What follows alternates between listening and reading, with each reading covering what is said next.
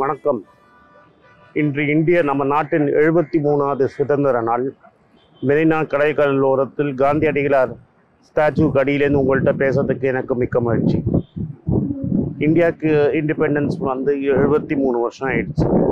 இந்த எழுபத்தி மூணு வருஷத்தில் நம்ம பல ப்ராக்ரஸ் பண்ணியிருக்கோம் பல முன்னேற்றம் வந்திருக்கு. ஆயிரத்தி தொள்ளாயிரத்தி நாற்பத்தேழில் நூறு பேரில் பதினாறு பேருக்கு தான் படிப்பறிவு இருந்தது.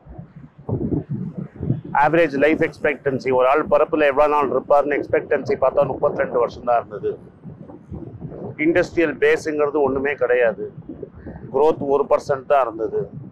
Two thirds of all manufacturing அதாவது நம்ம மேனுஃபேக்சரிங் பண்ணுறது எல்லாமே டெக்ஸ்டைலில் தான் இருந்தது.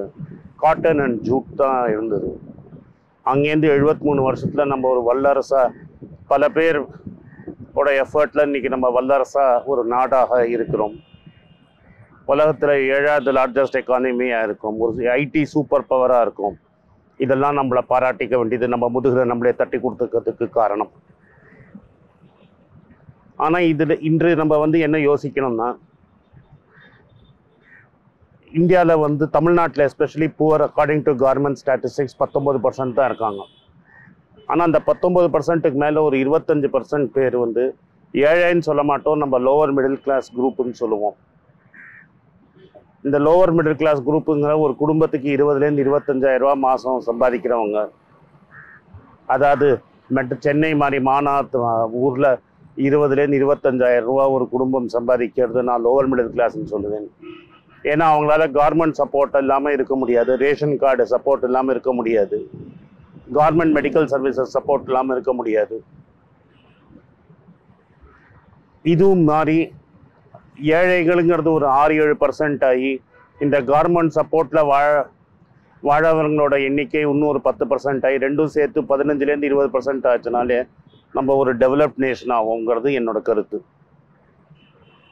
இன்னொன்று வந்து நம்ம எல்லாரும் ஃபினான்ஷியல் ஃப்ரீடம் நோக்கி போகணும். ஆனால் இன்றைக்கி இருக்கிற சர்டிஃபைட் ஃபைனான்ஷியல் பிளானர்னா சர்டிஃபை இண்டிபெண்ட் ஃபினான்ஷியல் இண்டிபெண்டன்ஸ் தான் நீங்கள் மாதம் மாதம் ஒரு மியூச்சுவல் ஃபண்டில் போட்டுட்டு ஒரு பதினஞ்சு இருபது வருஷத்தில் லீனியர் க்ரோத் இருக்கும். அதனால் நம்ம பணம் சம்பாதிச்சிருவோம் அப்படின்னு நினைக்கிறோம். அது தவறு. அமெரிக்கன் எக்கானமி வந்து ஒரு நூறு வருஷம் வரலாறு ரெக்கார்டட் ஹிஸ்ட்ரி இருக்குது அவங்களோட ஸ்டாக் மார்க்கெட்டில் நூறு வருஷத்துக்கு மேலேயே இருக்குது அந்த வரலாறில் வந்து இந்த போன நூறு வருஷத்தில் ரெண்டு வாட்டி வந்து பதினஞ்சு வருஷத்தில் வந்து இந்த டவ் ஜோன்ஸுங்கிறது எங்கேயுமே போகாமல் இருந்த இடத்துலையே இருந்தது. ஒன்று ஆயிரத்தி தொள்ளாயிரத்தி இருபத்தொம்போதுலேருந்து ஆயிரத்தி தொள்ளாயிரத்தி ஐம்பத்தி நாலு வரைக்கும் இண்டெக்ஸ் எங்கேயும் போகல. அதே மாதிரி ஆயிரத்தி தொள்ளாயிரத்தி அறுபத்தி நாலுலேருந்து ஆயிரத்தி தொள்ளாயிரத்தி எண்பது வரைக்கும் இண்டெக்ஸ் எங்கேயும் போகல. அதனால் நீங்கள் ஒரு பதினஞ்சு வருஷம் மியூச்சுவல் ஃபண்டில் பைண்டாக பணத்தை போட்டதுனால ஸ்டாக் மார்க்கெட்டில் பணத்தை போட்டதுனால நீங்கள்லாம் ஃபினான்ஷியலி இண்டிபெண்ட் ஆவீங்கன்னு எனக்கு நம்பிக்கை இல்லை. அப்போனா நான் என்ன சொல்ல வரேன்னா எங்கள் அப்பா காலத்தில் வந்து ஒரு ஆள் வந்து ஒரு கம்பெனியில் வேலைக்கு சேர்ந்தாருன்னா ரிட்டையர் ஆகிற வரைக்கும் அதே கம்பெனியில் இருந்துருவார். நீங்கள் கார்மெண்ட்டுக்கு வேலை செஞ்சீங்கன்னா பென்ஷன் கூட கிடச்சிரும்.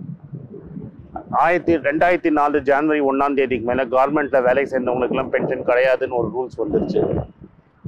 எங்கள் அப்பா காலம் போய் எங்கள் காலத்தில் வந்து ஒருத்தர் வந்து சராசரியாக வேலைக்கு சேரும்போது ஒரு மூணுலேருந்து நாலு கம்பெனி மாறிடுவாங்க. எங்கள் என் கூட படித்தவங்கலாம் நிறைய பேர் ரிட்டையர் ஆகிட்டாங்க மீதி இருக்கிறவங்க இன்னும் ஒரு அஞ்சு வருஷத்தில் ரிட்டையர் ஆகிடுவாங்க இதெல்லாம் வந்து என்னென்னா மக்களுக்கு வந்து shorter working careers and no stability of jobs இருக்குது இது மாதிரி இருக்கும்போது நீங்களே உங்கள் பணத்தை சேர்த்துக்கு வச்சுக்கணும். இன்னொன்று நம்ம சொசைட்டியில் எப்போதும் கவர்மெண்ட்டையே டிபெண்ட் பண்ணி இருக்கோம். சர்க்கார் என்ன செய்யணும்? சர்க்கார் இது செய்யுமா? சர்க்கார் அது செய்யுமான்னு. I think at least sixty percent of our population அந்த அதை தாண்டி வந்துட்டோம். எதை கேட்டாலும் கவர்மெண்ட்டை ப்ளேம் பண்ணாமல் நம்ம ஃப்யூச்சருக்கு நம்மளே செக்யூராக இருக்கிறது தான் நல்லது. கடைசியாக பணமாக நீங்கள் கையில் வச்சுக்கிறது முட்டாள்தனம். நிறைய பேர் பேங்க் பேலன்ஸ்னு சொல்லுவாங்க ஃபிக்ஸட் டெபாசிட்னு பணத்தை வச்சுருப்பாங்க. நல்லா ஞாபகம் வச்சுக்கோங்க பணத்தோட வேல்யூ விரைஞ்சிக்கிட்டே போகும். இந்த சீரீஸ் ஆரம்பிக்கும் போது கோல்டோட விலை வந்து ரெண்டாயிரத்தி தொள்ளாயிரம் ரூபா இருந்தது. இன்னைக்கு கோல்டோட விலை மூவாயிரத்தி அறநூறுவா ஆயிடுச்சு.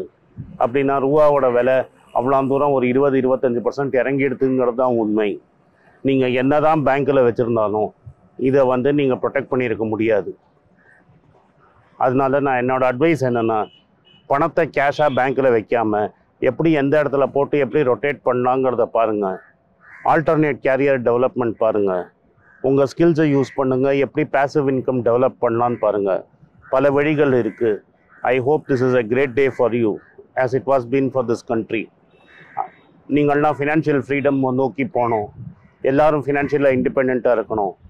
ஏழையும் லோவர் மிடில் கிளாஸும் அடுத்த ஐம்பது வருஷத்தில் லெஸ் தென் டுவெண்ட்டி பர்சன்ட் ஒரு பாப்புலேஷன் ஆகணுங்கிறது தான் என்னோடய ஆசை. அடுத்த ஐம்பது வருஷத்தில் lower middle class and poor together less than twenty percent of population ஆகணும் நம்ம கவர்மெண்ட் சப்போர்ட்டுக்கு எல்லாத்தையும் நிற்கக்கூடாது நம்மளோட லைஃப் எக்ஸ்பெக்டன்சி உலகம் மாதிரி எல்லா இடத்துலையும் எண்பது ஆகணும் எல்லாரும் காலேஜ் படிக்கணும் எல்லாரும் ஸ்கில்ஸ் டெவலப் பண்ணிக்கணும். நிறைய பேருக்கு வந்து ஃபினான்ஷியல் ஃப்ரீடம் ஆகணும் இந்த ப்ரோக்ராமெல்லாம் நீங்கள் சேனலில் பார்க்குறவங்கெல்லாம் ஃபினான்ஷியலி ஃப்ரீயாக இருக்கணும். பணத்துக்காக கவலைப்படாமல் இருக்கணுங்கிறது தான் என்னோட ஹோப் வந்தே மாத்தரம் ஜெய்ஹிந்த்